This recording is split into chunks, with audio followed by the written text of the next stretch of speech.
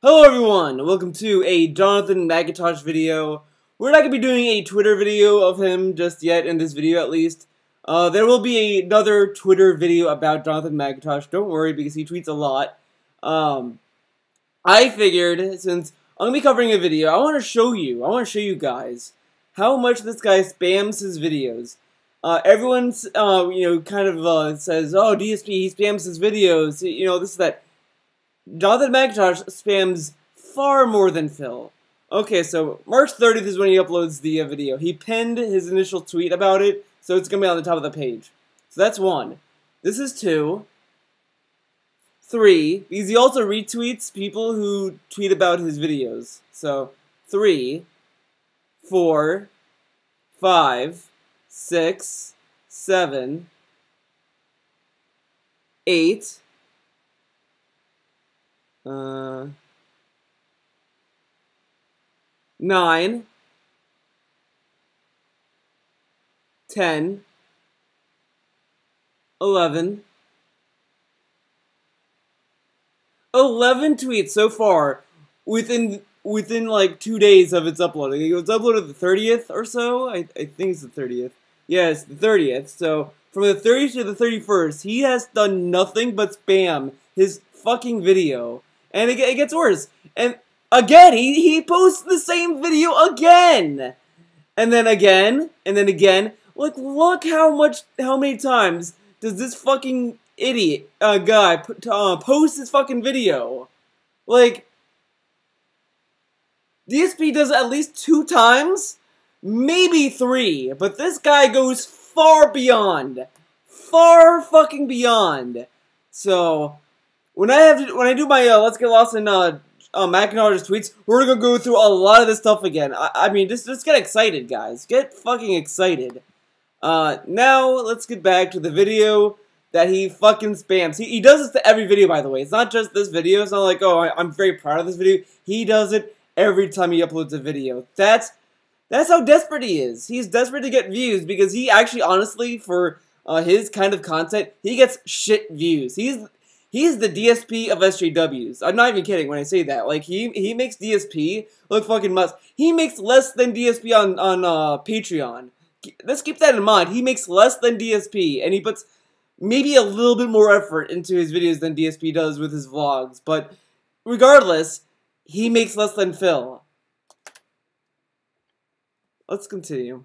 Let's watch this. Let's get ready to kill ourselves, guys. Wait a second, guys. I I made a mistake. I needed to uh, change the audio channel. Thank God I noticed it now than later. That happened last time, uh, and it, and it was it was terrible. Uh, I'm gonna do a little test. Yep. Uh, bonus points for anyone who can guess what's uh, what album that little clip was from. So now my video might be claimed, but what can I do?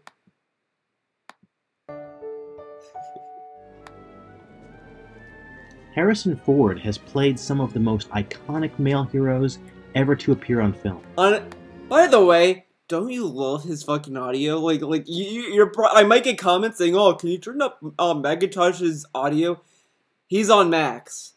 He has a very shitty fucking recording. Like, I, he his old videos, he changed his format. By the way, he used to be he used to talk in front of a camera and all that kind of stuff. Now it's just he plays footage and he talks over it. And I don't know what happened because I'm using my built-in microphone in my computer and it it's a better microphone than what Jonathan McIntosh is using. And I assume he actually bought a microphone. So either he got a shitty ass fucking microphone or he's using a rock band microphone. What the fuck? Why does his audio sound so bad? It's it's really bad. It's not even like it's just it's it's kind of it's it's really kind of pathetic. It's it's it's the saddest thing I've ever seen, uh, ever heard, I should say. The cultural impact of his filmography is so massive that it's hard to overstate. An entire generation of young boys learn to idealize his cinematic performance of masculinity. These films provided an education of sorts into what it meant to be a man. Yeah, okay. Han Solo, Indiana Jones, and Rick. See, so you're already getting the kind of the gist of what McIntosh is approaching with these videos, and it's a common theme with him. Nobody watches these kind of films for educational purposes. No one sits there and's like, "Oh, this is this must be what it is to be a man" or whatever. Like what he's trying to get at. I mean, there there is some idea that he's getting at, I which I could kind of see, but it's the but again, this is what I mean. When when he used to work with feminist frequency, he used to work with he did some videos on um video games versus tropes, and I can guarantee, I can guarantee, uh, her videos are still pretty shit, sure, but when he was working on them, they were shittier. Because the thing is, is that you can kind of tell when Jonathan McIntosh wrote an episode of of uh, tropes versus video games or whatever, and then when you see, and then when he left, you can see that there's a, a giant uh, leap because you know with Anita's latest videos, they're not great, but they're at least I, I can at least kind of see where she's coming from. I'm not saying that she has a point or that she's right or anything. I'm not saying that. I'm just saying that I can I can see where she you know where she's coming from with it. like she has a general idea and, and and she kind of slightly goes into it but she doesn't go fully into it uh, McIntosh, when he was working with Feminist Frequency, she just kept talking about generals, generalistic nonsense, and and just kept acting as if, you know, oh, this is what we learned. All this. It, it was a weird videos.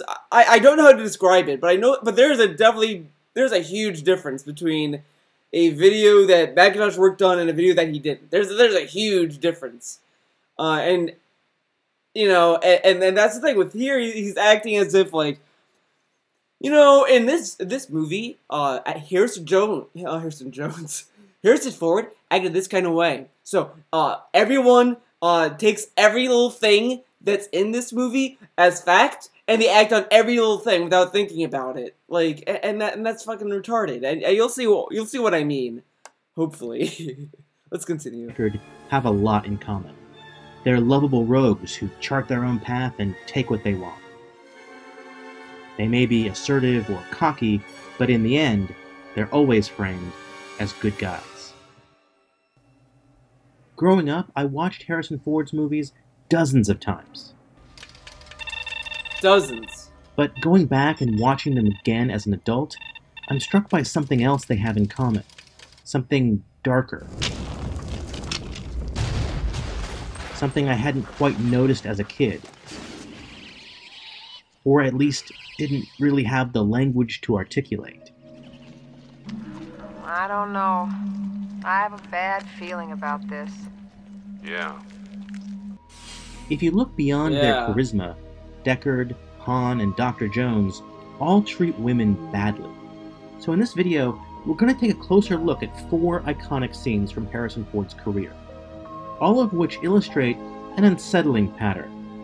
Each is essentially framed as a seduction. And by the way, I, I want I want to say this though, uh, because it, it, it's also a thing that everyone does. They they they list the movie as an actor's movie. Like, oh, I like these Tom Cruise movies. Oh, I, you know, Tom Cruise makes these makes such good movies. Or oh, Tom Hanks makes good movies. Or Harrison Ford makes good movies. Like they keep giving credit to the actor when in reality the actor is just doing what's on the script and it's really the director and the writers that that make these lines so basically all these romance things that jonathan mcintosh is, is to get into has nothing to do with harrison ford harrison ford just has the role and he plays that role. He's not you know walking into the writers rooms and guys we need to have this dialogue. I know what i'm doing and, and we're doing this for my character. Like he doesn't I mean, yeah, there there is some feedback that the actors do put in, sure,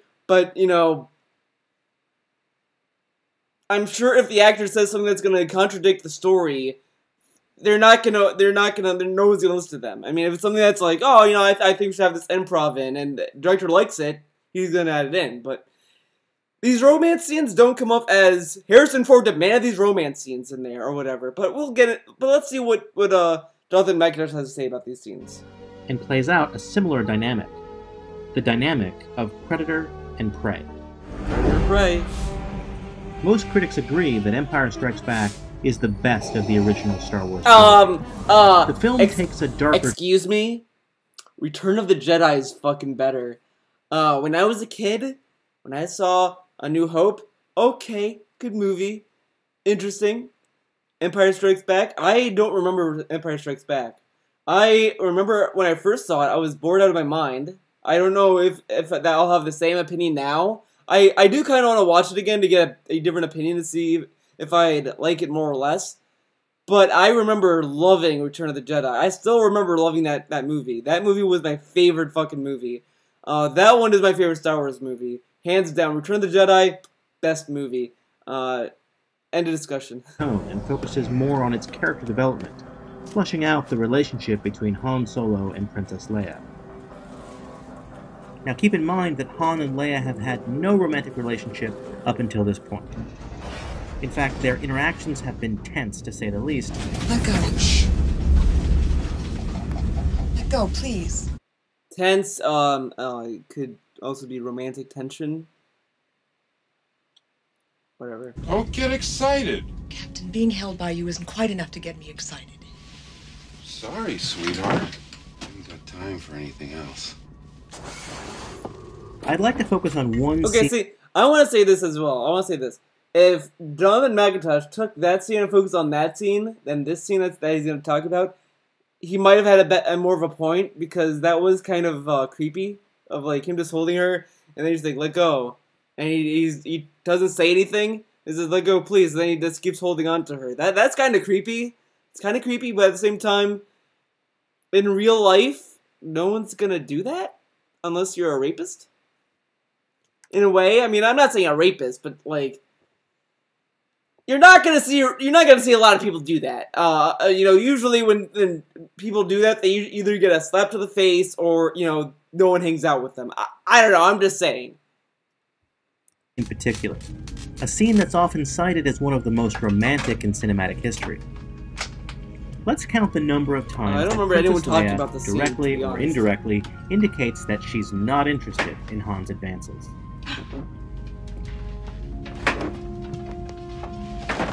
Hey, your worship, I'm only trying to help. Would you please stop calling me that? Sure, Leia. You make it so difficult sometimes. I do, I really do. You could be a little nicer, though.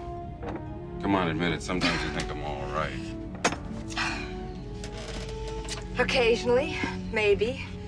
When you aren't acting like a scoundrel. Scoundrel. She backs away so he can get into the room because obviously he wants to get in the room. You know, like, what's she gonna do? Not move back? She backs away so he can get in. I like the sound of that. Stop that. Stop what? Stop that. My hands are dirty. My hands are dirty, too. What are you afraid of? Afraid? You're trembling. I like how he's like saying, "Oh, see, she said stop that," but like she's he's not looking at the context. She's saying, "Stop rubbing my hands." The hands are off the screen, so I'm assuming he let go. Let, let's let's go back for a bit. Hold on. My hands are dirty, too. What are you afraid of? Afraid? You're trembling. I'm not trembling. You like me because I'm a scoundrel. There aren't enough scoundrels in your life. I happen to like nice men. Nice man. Very nice. But like again, again, um, Jonathan, you're not looking. You, you can't read people then, I guess, because she, if she, again, if she didn't want any of this to happen, it's called it's called uh, you know no little self defense. Just saying. I mean, women, if you're watching this video, which I know you are, uh, if I were to come up to you and be like, "Oh, you like you know, get start leaning closer and closer," and you really don't want anything to do with me, are you gonna just they're like, or are you gonna fucking slap my slap me? You're probably gonna slap me and back and you know push me off and say, "Oh my god, you're a fucking asshole," then leave. That's probably what you're gonna do. Um. So, Jonathan, trust me, trust me when I say this. If any man oversteps his bounds and does something that a woman generally doesn't want to be a part of, they're gonna get violence. They're gonna if if no doesn't cut it, they're gonna get fucking violent because um you, you kind of have self defense. You know, you're you know you're not gonna let shit happen to you. You're gonna like push back. Uh, if the person you're pushing back fights back, then it, it, it gets it gets very you know rapey. You know, like you know you, if if that if you know all that kind of shit. Again, you, you, you gotta understand people, John. You, you can't just say, well, see, uh, here in this scene, uh, Harrison Ford raped her because uh, she says no and he continues. But Leia never slaps him, doesn't do anything to prevent it from happening. She just kind of stands there. Um, in a way, in a way, Jonathan Megatosh thinks very less of women if he thinks that women are this are, are this are not I can't defend themselves if he's this fucking dumb. I'm sorry, but I, I really can't imagine a woman just allowing a random guy that she that she doesn't like plant a kiss on her without any resistance. That that that is that is that would be fucking weird to see that. That that, that is just kind of like you have to be watching a porno to think that then, I guess. I I don't know. It's just in real life this shit wouldn't fly if, if this is real life, if Leah generally did not have any feelings for for Han Solo, she she would have slapped his ass, not his ass, but slapped him, pushed him back, and never want to be next to him ever again, or whatever, something like that, something in the, in that ballpark. She would find some way to defend herself because I assume that like most human beings, they they want to defend themselves against a predator type person. Jonathan, Mac- Jonathan, if someone's gonna rape you, Jonathan, are you gonna are you gonna take it? Or are you gonna like try to push the person back?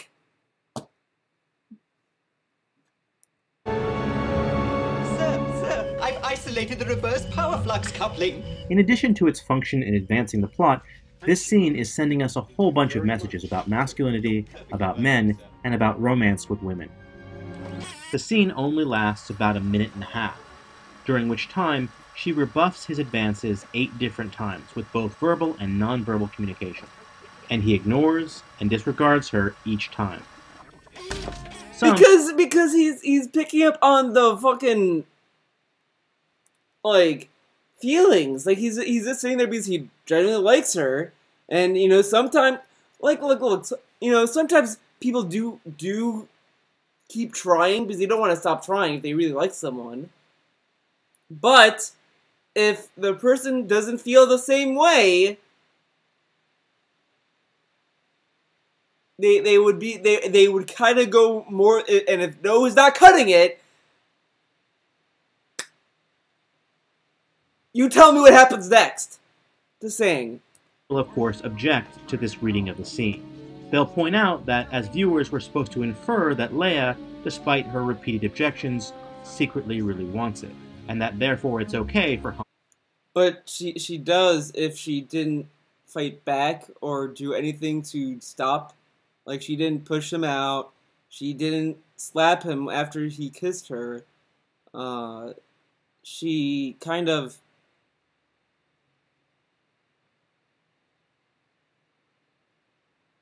you know didn't want to make it easy for Han Solo. You know, some people like to play hard to get. That is an actual like thing for people.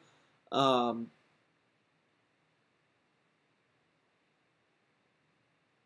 Also, uh, you're you're talking about romance in a movie with uh, laser beams and people moving things with the force. To disregard her words. I have no doubt that that is how the scene is meant to be understood, and therein lies the problem. The troubling implication here is that when women say no, they don't really mean it that when women say no, it's just part of some courtship game where good girls play hard to get, and that men are therefore justified in continuing to pressure them until they finally give in. In perhaps his second most famous movie role, Harrison Ford's character continues the same predatory behavior. Indiana Jones not only refuses to listen to women when they say no, he also uses force to get what he wants. I'm allowing you to tag along. So why don't you give your mouth a rest? Okay, doll? What do you mean, tag along? Ever since you got into my club, you haven't been able to take your eyes off me. Oh, yeah? At the end of Indiana Jones and the Temple of Doom, leading Lady Willie Scott has clearly had enough of Indy's antics, which have put her life in danger at least a dozen times over the course of the film. So when he suggests she accompany him on another adventure, Willie rebuffs him in no uncertain terms. It's a long way to Delhi. No thanks. No more adventures with you, Dr. Jones. Sweetheart. After all the fun we've had together. If you think I'm going to Delhi with you or any place else after all the trouble you've gotten me into, think again, Buster. I'm going home to Missouri where they never feed you snakes before ripping your heart out and lowering you into hot pits. This is not my idea of a swell time. She makes it clear that she's not interested and she walks away. But Indy doesn't listen. Excuse me, sir. I need a guide to Delhi. If you could show me the way. He forcibly prevents her from leaving, pulls her back to him, and kisses her. But look at that face she gave him. She was like smiling, she like, you know, you know, she was like fu- fucking like this that. Because the thing is that she probably did want to go home, and that obviously, but at the same time, they went on a they they go to adventures together. I mean, like Indiana Jones was able was able to deduce that well maybe she she likes to come, you know, because a lot of times people are very stubborn as well. You know, like sometimes when that came off a little, a little bad, but sometimes like if I go, if I, I don't want to go somewhere. Like if it was like oh let's go to New York, ah I don't want to go to New York. Then I go to New York anyway, and I'm like oh wow this is actually a good time. I'm glad I went. You know, uh, Indiana Jones just wants her to tag along because she, he likes her, likes her her uh, company. You know, like if she really didn't want to come along, he probably would have let her let her stay somewhere. But like she is probably able to take care of herself. I I don't know. I I I haven't seen a lot of Indiana Jones movies, so I can't really say. I guess. It's important to note here that Willie is written to have a positive response to Indy's aggressive behavior. Her reaction reinforces the myth that women secretly want it, even and especially when they explicitly say no.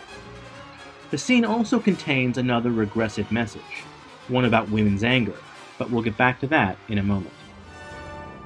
Let's skip ahead to a scene in Indiana Jones and the Last Crusade. Just like in Temple of Doom, Indy and Elsa have not had a romantic relationship up until this point, Knock it off. You're not mad. No?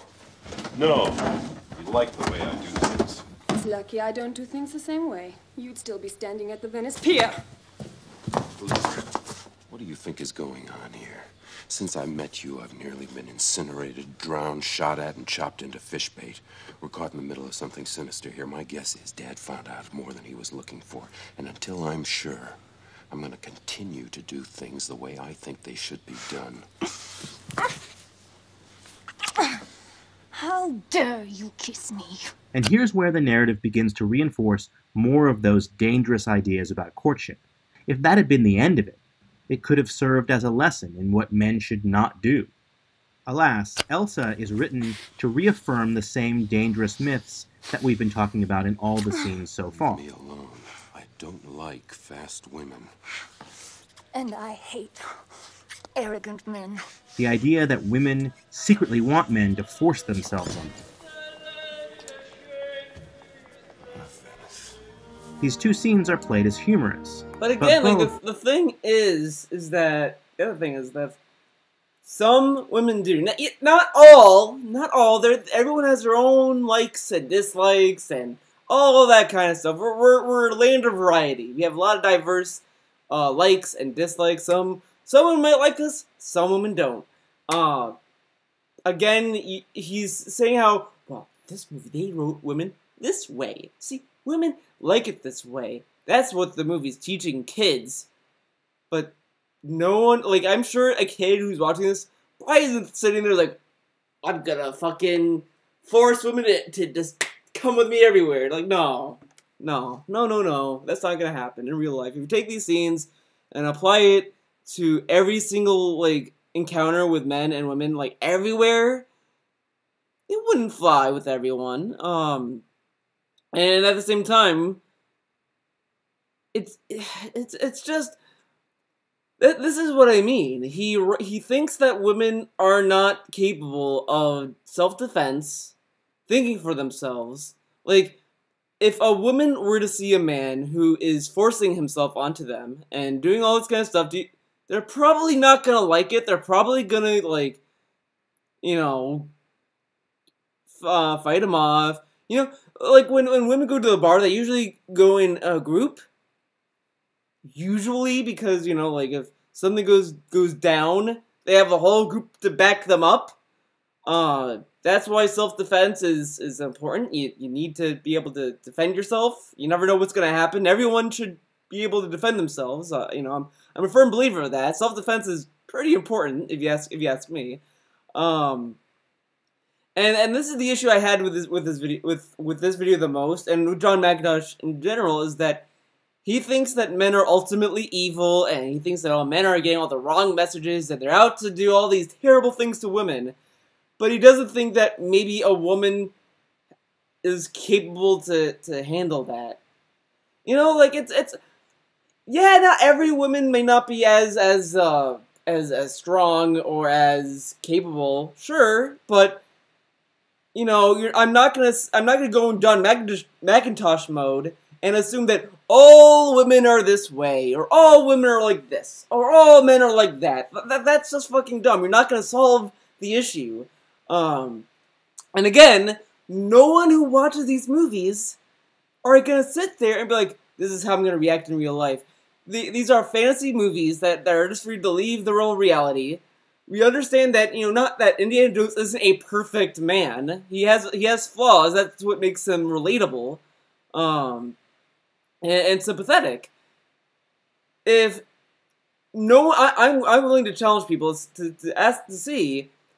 Did anyone does anyone think that forcing themselves in the way that these that these scenes are are showing Harrison Ford in these movies? Are you gonna be? Are you gonna do this to to women you see at a bar? Are you gonna do this? I'm sure if you ask a lot of men, they're gonna say no because you know, it's more important to teach respect in school than it is in a movie.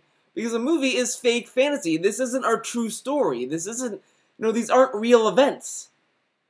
No one goes to Indiana Jones for an educational uh, movie. They, yeah, they do teach some ethics and morals, but that's like not really the point of Indiana Jones. The point of Indiana Jones is going on these grand epic adventures and seeing ancient civilizations and treasure and you know like Indiana Jones gets all the girls and all this stuff but that's fucking fantasy it, it, it's not real but whatever I mean let's continue still reinforce another pernicious idea the idea that women's anger isn't real that women's anger is instead an invitation to men to continue their advances Okay. Okay, men. When a woman is angry at you and, and she's fucking pissed at you, let's say you, you did something and she's angry at you, are you gonna try to uh, have sex with them when they're fucking angry? You know, are you, are you gonna try to force yourself onto them if they're angry at you? Probably not. You're probably not gonna take it as an invitation. You know, like like you're probably gonna be like, well, she's mad. You know, like and deal with it, you know, whatever. But like, you're not gonna like fucking McIntosh, man. For most of my life, I said that Blade Runner was my favorite film of all time. I don't say that anymore. Ridley Scott's 1982 masterpiece includes perhaps the most disturbing of Harrison Ford's so-called romance scenes. The film frames a violent sexual assault committed by its protagonist as a form of seduction. First, a little context. Rick Deckard has just informed Rachel that her memories are fake and that she's not a human being as she previously believed, but a machine. Keep in mind that it's Deckard's job to kill androids, androids like Rachel. Deckard is drunk, and Rachel is distraught. And he takes advantage of this vulnerable moment to kiss her.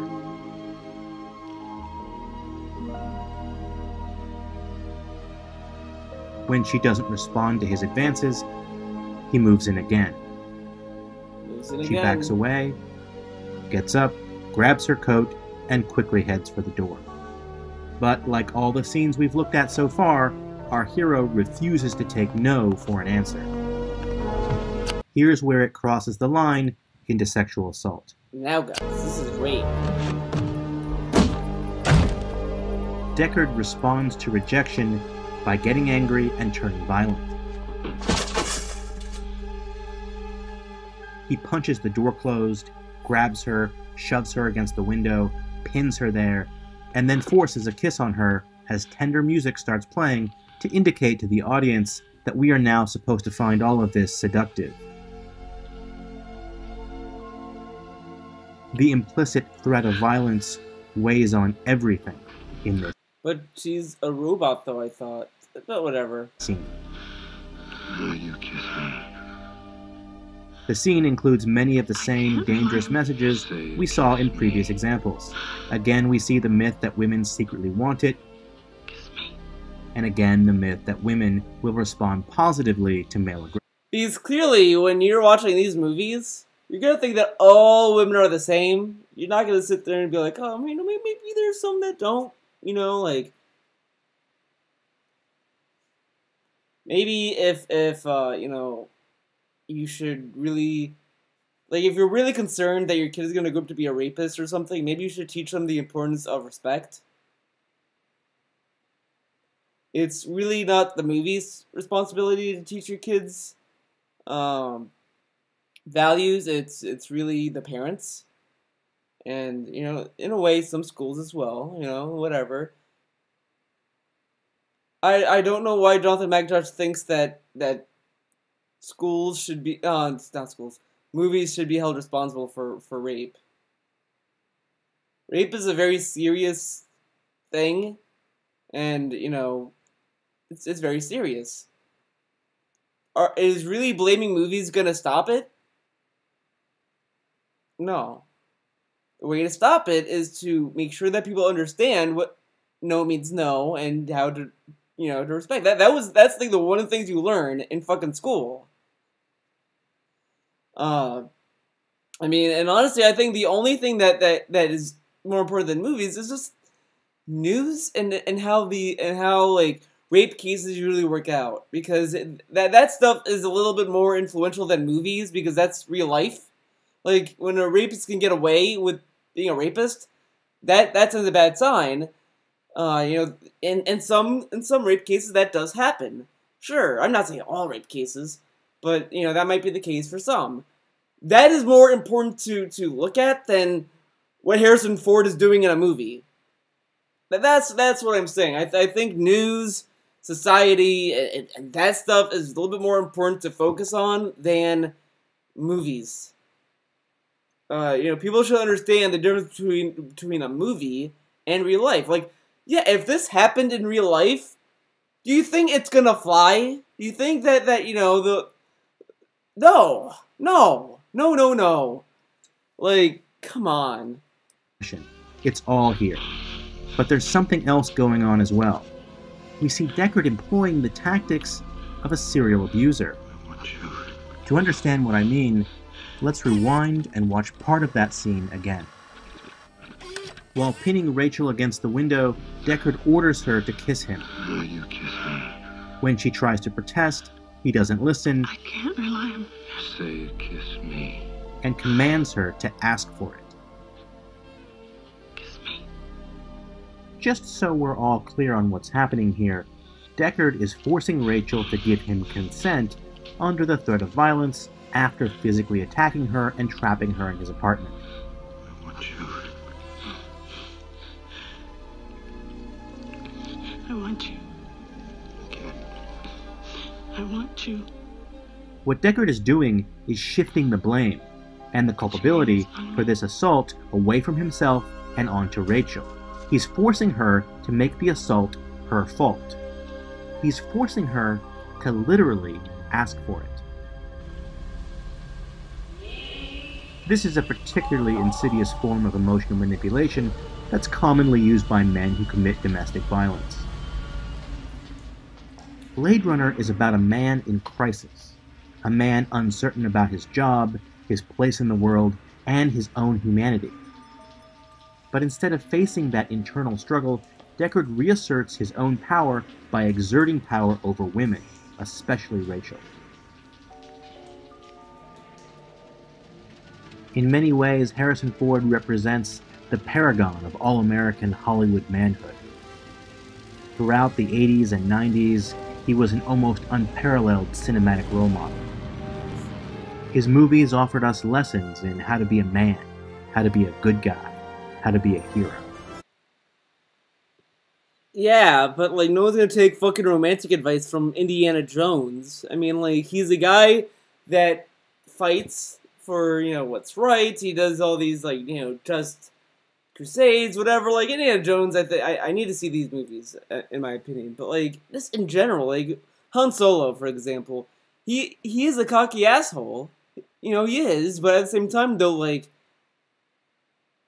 he's he is kind of cool. He is kind of suave.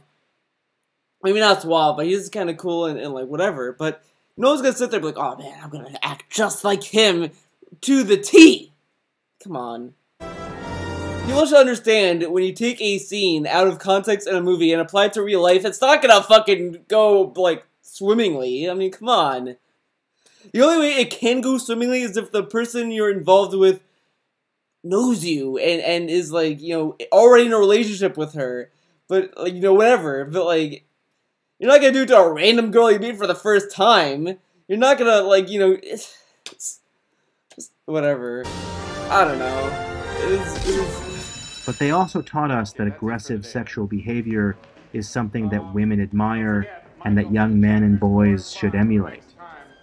No. The tactics of invading a woman's personal space, aggressively propositioning her multiple times, and putting her in the very uncomfortable position of having to reject you.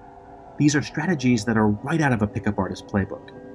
It's the predatory worldview that's at the heart of what's often referred to as rape culture.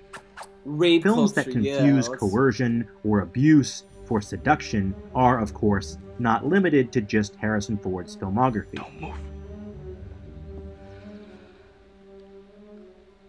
The conventions of predatory manhood are part of a long running Hollywood tradition in popular movies, television shows, and music.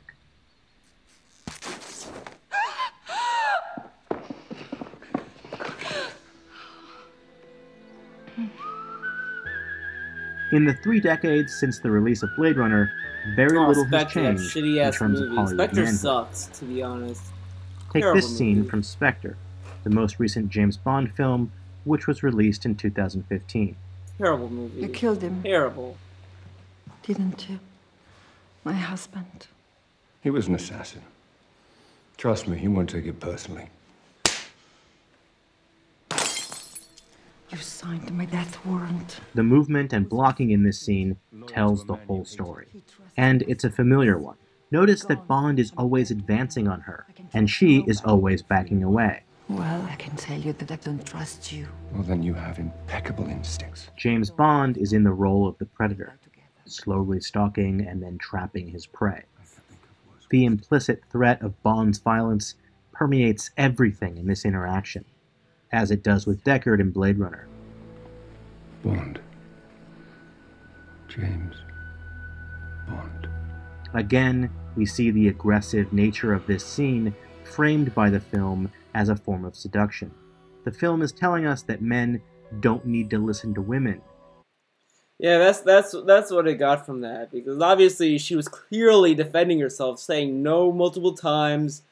Uh, you know, no woman is going to be pressured to not use violence if if no is not cutting it. Just saying. I mean, I mean. Sorry, Jonathan Mac. I, I kind of have have the this assumption, the silly assumption that women are capable of defending themselves and that they are, you know, not idiots. Um, You know, I do respect their personal space. I respect, I, I, I respect all that shit. Obviously, I'm not gonna be like, oh, let me tell you. But to assume that women are just gonna let it happen is really kind of, kind of uh, insulting, uh, in my opinion. You, you know, like, like, yeah, be it that you that you can maybe make the case what he's trying to say, uh, and I think there is, you know, to a degree, he's right about what he's about these examples. But the thing is that he's this not thinking about is that these are scenes from a movie. People don't look at a movie and then say, "This is how I'm going to react in real life." I mean, that's just they should take what they want, aggressively if necessary. That once backed into a corner, once coerced, women will finally admit that they secretly wanted it all along, even if they said no. As the movies we just looked at illustrate, men in our culture are socialized to believe that it's acceptable to pressure or coerce women. When women say no, Han Solo, Indiana Jones, and Rick Deckard don't hear them. They, like too many men in our culture, instead hear not yet or keep trying. too many men. Despite the lessons of Hollywood style masculinity, when women indicate that they're not interested in something, that is never an indication to keep trying. The absence of a hard no or even a very reluctant yes is not enough. Because if that's all that's required, But they never said no. In any of these scenes, have you noticed that, that not one of them said no? Like it said, "No, get away! I don't, I don't like you like that. No, no, no." They they've said, uh, like you know, get out of here. Uh, stop that. Uh, you know that kind of stuff. Like they, they, I mean, those are all denials. I'm not saying that. Oh, these are like green lights, guys. But they didn't really give uh, Harrison Ford a hard no. They didn't say, get out of here, oh my god. They, they didn't scream, they didn't protest, they didn't get violent towards him. Uh, because again, I don't think women are defenseless beings that, that can't fight for themselves. Just, just saying, I mean, isn't that why they have pepper? Isn't that why we made pepper spray to begin with? Isn't that why we learn? Uh, why there's like classes when you go to like when I go to my gym that I work out in, they have like self defense classes. They have like but, uh, beatboxing. A lot of people do that because uh, it allows them to defend themselves. Uh, you know, some people carry whistles, all these things to to defend themselves. John. Women can defend themselves very well. They're not little delicate little flowers that that they're just like I don't know what to do, and then, and then you know, no, no. Uh, a lot of bad shit happens. I'm not saying that you know, oh, rape doesn't happen. That that's a dumbass. That's a dumb statement, but I don't think rape happens because it's in movies. Just just putting that out there. It has to do with the person that they're that you know how they grew up all that kind of stuff. And honestly, I would probably say, uh, you know, a lot of these like rapists I could see being rapists are people who feel entitled, people who come from a, like like you know who are spoiled, who's from a spoiled family, and they think that that they that they can get everything they want. You know, usually that kind of stuff. I mean, there there might be uh, variations or exceptions to that um, uh, thing, to that thing I just said, but uh, to that personality uh, trait that a lot of, that some rapists might have. But I would not sit there and be like, it's because he watched Indiana Jones. Oh my god, guys. Like that that's fucking insane. Like it's so should a woman when they hang out with a guy look at their movie collection like, he watched Indiana Jones? Oh my god, I better be careful now, guys. He watches fucking Indiana Jones. it opens up the door for forms of coercion and manipulation. And it should go without saying that coercion and manipulation have absolutely no place in romantic or sexual relationships. What we should be looking for instead is an enthusiastic yes. Okay. Oh, fucking Here frozen. The affirmative or enthusiastic model of consent encourages open, proactive communication, mutual excitement, and respect. Do you like it? Like it? I love it!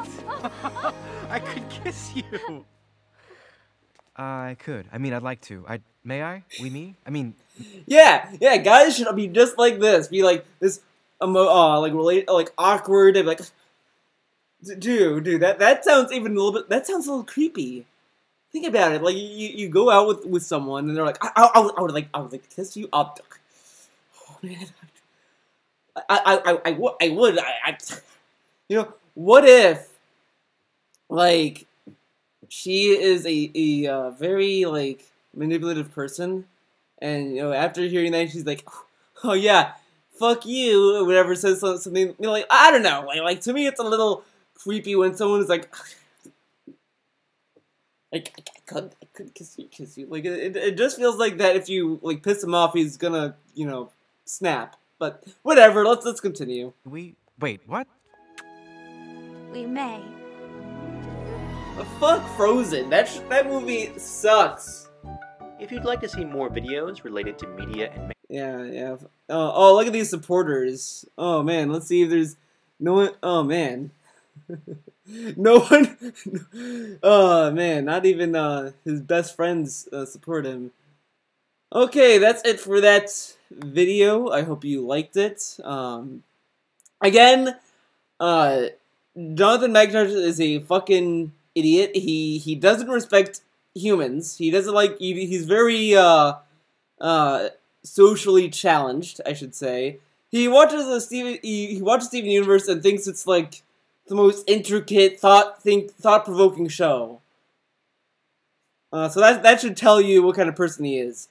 Um, again, I I really uh, the, the thing I don't like about Jonathan McIntosh, as I said, is that he really generalizes the issues that, that people have uh, in society. Like, he thinks that, oh, it's because of misogyny is why men are like this. Oh, it's because of Indiana Jones is why men usually become, like, rapists or whatever. It enforces their... Th- if you watch a movie to validate your fucking worldview, then you're a pretty weak individual. Uh, movies can be thought provoking. They can be like you know, whatever. But you're not gonna go to a movie and sit there and be like, yes, since since Indiana Jones can do this, I can do it too. Like like that. That makes no, no one's gonna think like that. Um, because usually, if no, when a woman gives you a no and you don't listen, you're gonna you know get slapped, get you know whatever. Shit's gonna happen, and I don't think you know, it's going to be pretty if you're going to keep doing that, and uh, that's why we also have law enforcement. So, again, our you know, as a reminder, respect people. No means no, and uh, you're not dumb. Jonathan McIntosh thinks you're dumb. I don't think you're dumb. I think you're all smart people. See you guys in the next one.